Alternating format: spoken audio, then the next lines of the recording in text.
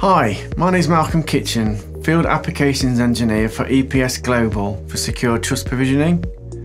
I'm going to talk to you today about the UK Product Security and Telecoms Bill, which applies to any consumer product that connects to the internet or network that's available to consumers in the UK.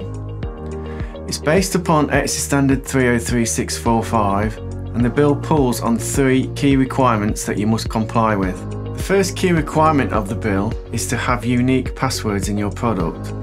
You need to consider where product passwords are stored in your product. Not only do they have to be unique, they also need to be secure. Unique encrypted ident identification is where security starts. EPS have high volume secure provisioning that enables you to provision unique encrypted passwords using HSMs into your microcontrollers. The second key requirement of the bill is to have a vulnerability disclosure policy. A vulnerability disclosure policy is ultimately an acknowledgement that a company is taking their security seriously.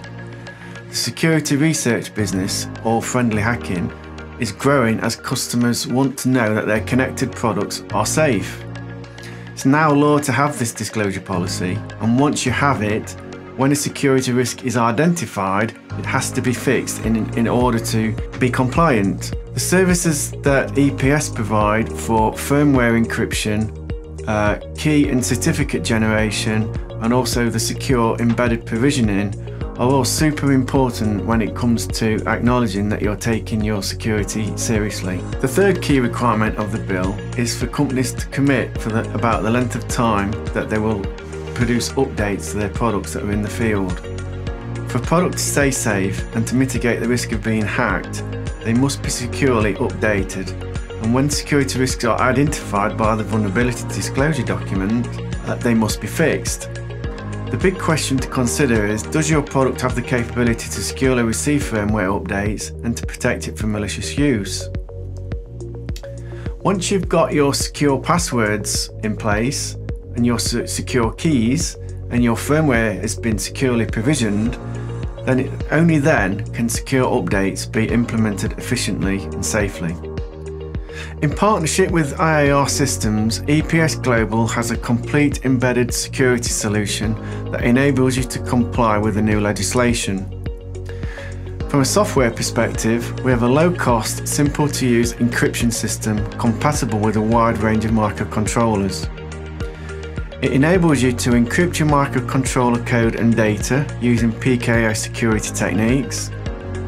It, it enables authentication of your microcontroller and firmware. It manages and generates the required security certificates. It provides libraries of software to enable cryptography in your microcontroller. And importantly, it's linked to a high security module to generate keys and sign certificates.